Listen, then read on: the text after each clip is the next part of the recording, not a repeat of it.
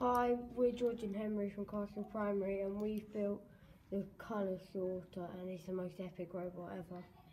Let's see. What, so how does it work? Um, well, we scan the colours, as Henry will now show you.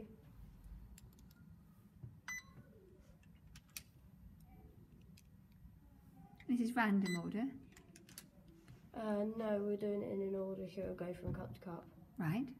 and um, it took us from uh, like Half nine. to quarter past one. Yes. Okay. So it took you about four out of four and a half hours to build. Well Yeah. done. Well done. Right.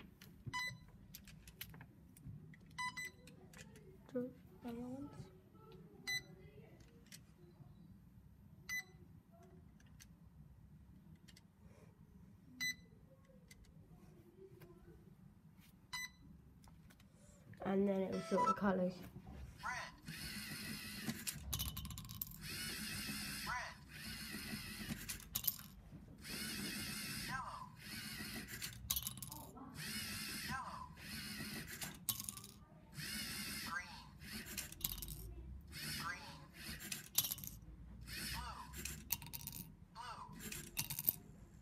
Well done. Good programming.